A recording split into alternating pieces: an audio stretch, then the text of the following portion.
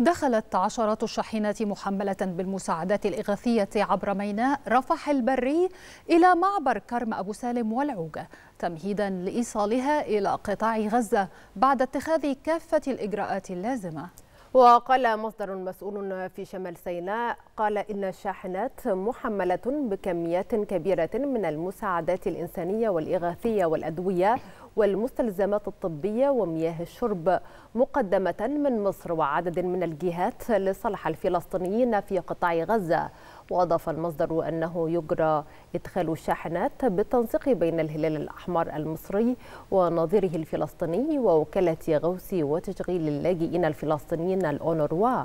كما دخلت 11 شاحنة من مواد البناء والمواد الغذائية متجهة للمخيم الإغاثي المصري بمحافظة خان يونس جنوب قطاع غزة لإيواء النازحين من شمال غزة.